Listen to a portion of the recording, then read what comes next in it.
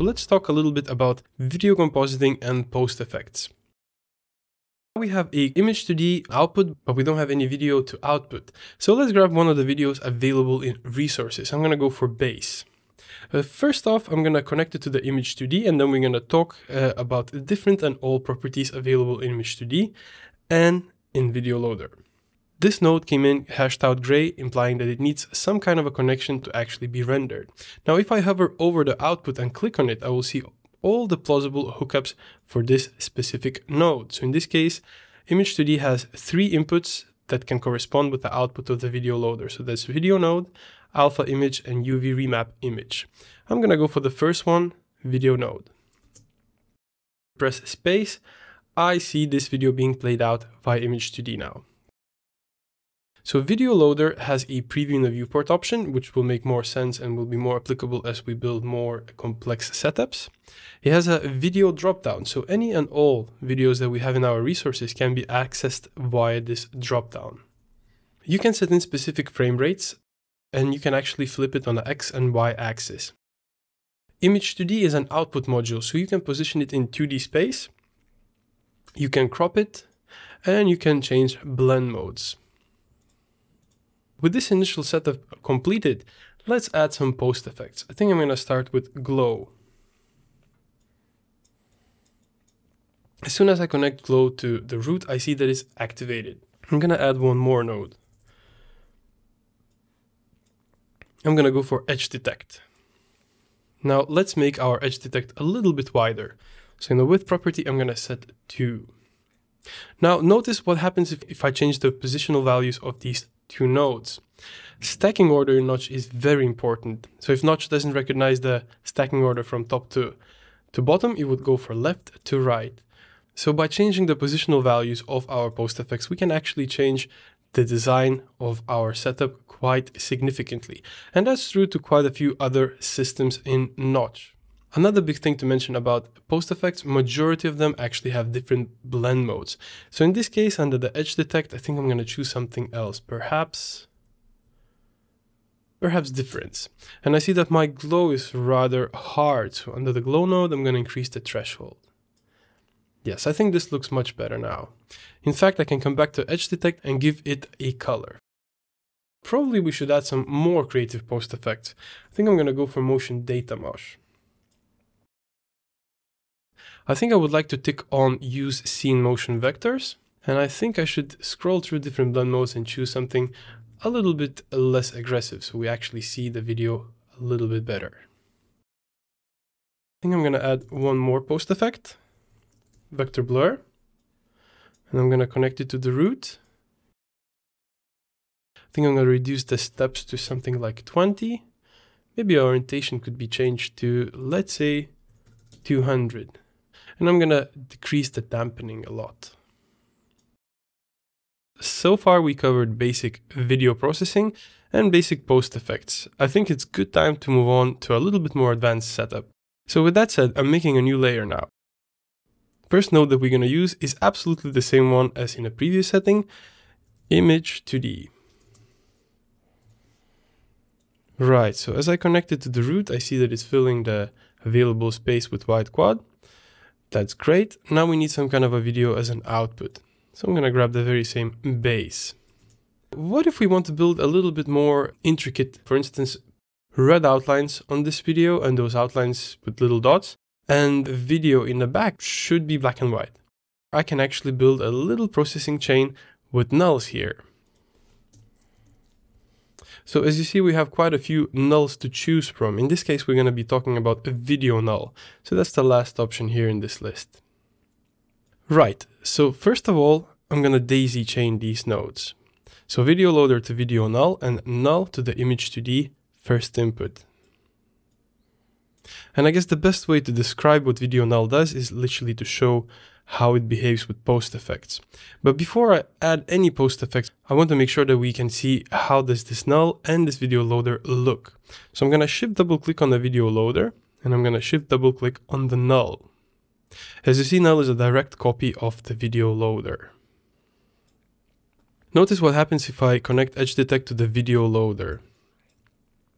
all of a sudden this edge detect is inherited by video null, and then output it to the image 2D. But look what happens if I connect this edge detect to the video null. All of a sudden our video loader is actually intact, so it's clean. I think I'm gonna color my edge detect to a red color. And I'm gonna add those dots as I mentioned before. Dot matrix will be a perfect node to achieve that. There we go, now we have little dots on the edges. So let's build a separate chain here for the black and white pass. I'm gonna go ahead and grab yet another video null. I'm gonna connect it to the video loader. Let's expand it so we see how it looks. So shift double click. So for the bottom one, uh, we've said that we want to have it in black and white. I'm gonna go for color correction node. Then I think I can go for saturation and just zero it out. There we go. Now it's in black and white. So the next step here would be to merge those two video nulls back together so we can see both of the settings combined. For that we have a specific node and it's called composite sources. I'm going to bring that to the scene and I'm going to unhook this video null from the image 2D. We're going to use composite sources to connect those two video nulls and then output it to the image 2D. Right, so I'm connecting video null to the first input here on the left hand side and the second video null to the first in the bottom. So why are we using two inputs for the same node? And they actually state quite similar naming conventions. Composite sources and composite source. Well, uh, they fulfill a little bit different tasks. So the top one is actually uh, driving the frame rate and driving the resolution. So if my video null 1 or this video here would be 4K, the bottom video would be upscaled to 4K as well. Same thing with the frame rate. If this one would be set to 60, this video right here would be upscaled to 60 FPS as well. So this is more or less a parent or a driver, and this is the follower. So with both of those nodes now connected to the composite sources, I can connect the very node to the image 2D for the output. And there we go, now we're outputting the unified signal via composite source to the image 2D. So let's talk about different settings in the composite sources node. First of all, we have blend amount, so we can actually choose whichever the source is being outputted. So it's like a little switch. Now clearly that's not exactly what we're going for. We actually want to see them both at the same time. So I'm going to go and change a blend mode. In this case, if I go for add, it does exactly what I was aiming for. I think next thing that I want to add to this setup is a color LUT. We have several of them available here in resources. So I'm just going to pull in the first one. And I think I'm going to connect it to the composite sources. So color LUTs, just like video sources, can be toggled through via dropdown until you find the one that you like. So any and all color LUTs that you have in your resources will be available here in the dropdown. Right, let's change some post effects here. I think I'm going to get rid of the dot matrix for now. And I think I'm going to go for data mosh again, as we did in the previous setting. So I'm going to connect it here to the first video null. I'm actually quite happy with the way it looks by default, but I think I'm going to go ahead and tick on use scene motion vectors. I'm going to add some post effects to the second video null too. I think here I will go for frame difference. Right, I think I like where this is going, but I think we should address the readability of this setting. So let's add an extra image 2D. As I connect the new image 2D to the root, I see that it's overtaking the design. So all of a sudden, again, we have a white quad. And uh, that's stacking order. Depending on where you leave your nodes, it either renders behind the design that we created or in front. In this case, I want this to render in front. I want to use that same video loader for this image 2D. Before I connect those two, I don't want to connect them directly. I think I'm going to add a video null in between, just so we can attach any and all post effects in between if we want to.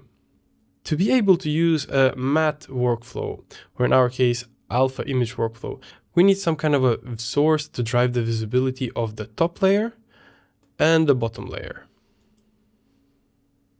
Uh, I think I'm going to go for generator. Uh, a perfect way to illustrate this case is to use something like star. So I'm going to grab a star generator. I'm going to shift double click to preview how it looks. I'm going to pipe it into the second input alpha image. And as you can see now, this black and white pass is driving the visibility of the top and bottom layer. On the scale Y, I'm going to use a small formula, 16 divided by 9. And I think I'm going to bump up the numbers here so it matches our video. Uh, I think it's going to be 1920 by 1080. There we go. So now if I toggle it on and off, because we have here a preview in viewport option, you can see exactly what's going on. So where we see the white color, it's the top layer, and when we see the alpha, it's the layer beneath. So obviously much better choice than star here would be fractal noise. So I'm going to grab fractal noise generator.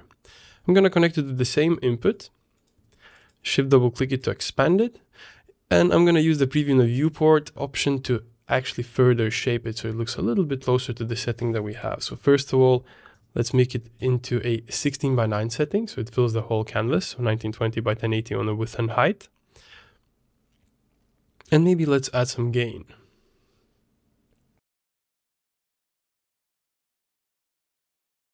Every single video loader has a preview in the viewport option. Well, so does the video nulls. So if you want to work on specific iteration or specific part of the chain, you can always press on the video null that you are interested in, click on preview in the viewport and you will see exactly how that video null or how that piece of the processing chain looks. Now be aware, you should always tick it off once you're done editing.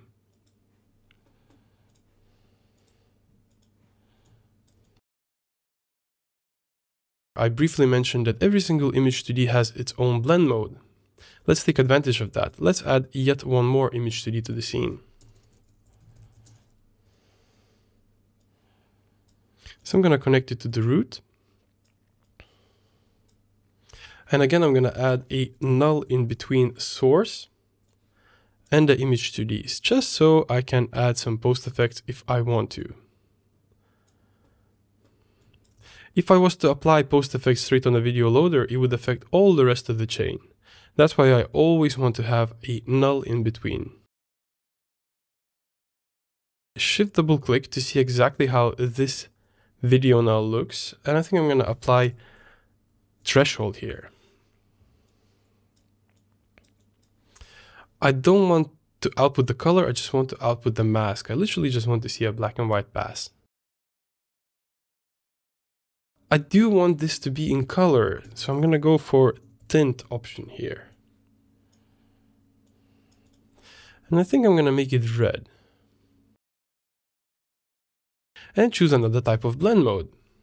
So all of a sudden, designs that I had in the back and this new image 2D actually is merging together to make one unified look.